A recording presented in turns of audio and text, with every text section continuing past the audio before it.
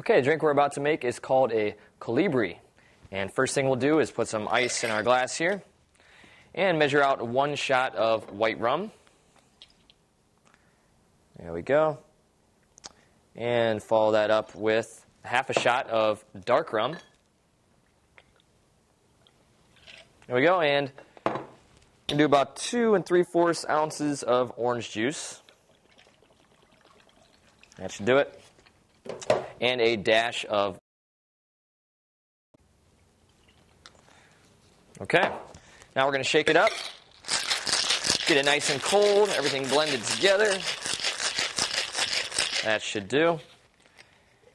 And we're going to strain this into a rocks glass. So we got our strainer and pour it in. There we go, perfect. Add a straw, and you have yourself a colibri. Bottoms up.